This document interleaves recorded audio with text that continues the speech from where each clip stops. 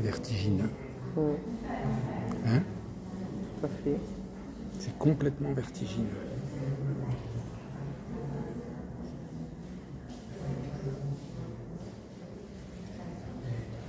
C'est ex- exceptionnel. hein. Ça réussit Ouais, à la ouais, ouais. Celle-là, elle est très belle. Ouais, mais c'est tout, tout est su. Tout est su.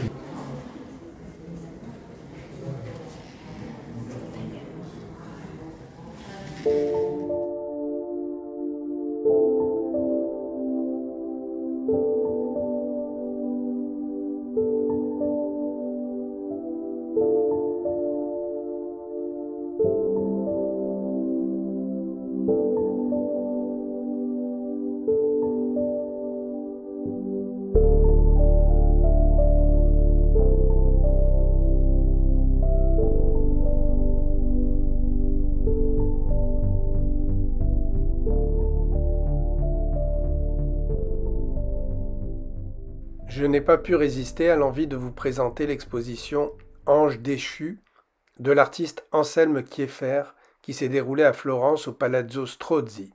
Mon frère Stéphane a eu le réflexe de prendre quelques photos et la gentillesse de me les envoyer, ce qui nous permet de nous plonger dans une exploration unique et vertigineuse sur les thèmes de l'identité, de l'histoire et de la mémoire. Les œuvres de Kieffer, sous forme de tableaux combinés très texturés, de plomb, de cire, de graines, de terre, de sable, de cendres, mais aussi de sculptures et de photographies, révèlent des œuvres très denses. C'est un voyage évocateur à travers l'art fascinant de Kieffer, d'une grande profondeur thématique, richesse matérielle et poétique.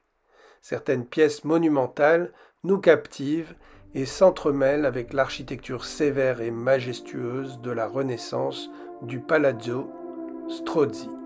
Incroyable connexion vertigineuse entre le passé, le présent et le futur.